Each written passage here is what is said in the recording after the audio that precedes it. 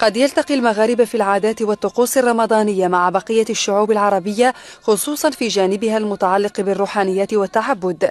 لكن لرمضان بالمغرب نكهة خاصة تجد عبقها في تجديد العهد مع مقومات المجتمع المحافظ والأصالة المغربية.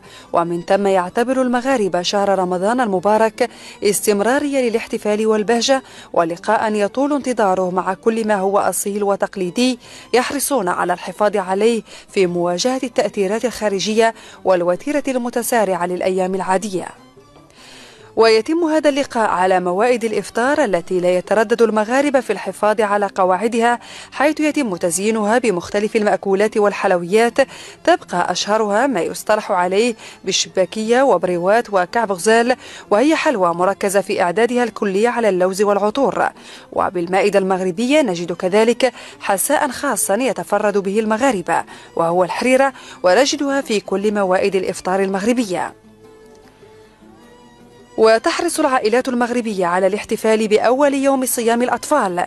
وتتزين الفتاة في هذا اليوم بأبهى الحلل واللباس التقليدي المغربي وكأنها ستزف في حين تشرف نساء من أقاربها على التزين بالحناء والتعطر.